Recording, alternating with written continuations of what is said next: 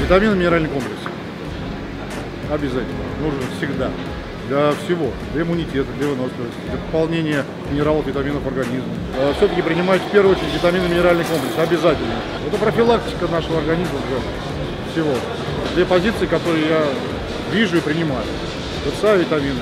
Иммунитет это как раз поддерживается витаминами, минералами. Витамины это основа. Ну, конечно, лучше натуральные, но чтобы сделать натуральные витамины, хорошую дозировку, необходимо очень...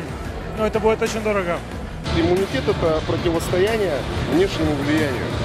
Конечно, из витаминов бы я выбрал витамин С. Особенно, когда мы живем в таком климате, когда иммунитет страдает, витаминная загрузка обязательно должна быть. Витамины принимаю. Я думаю, что, конечно, натурально они лучше. Без витаминов, к сожалению, в спорте больших, большого прогресса не будет.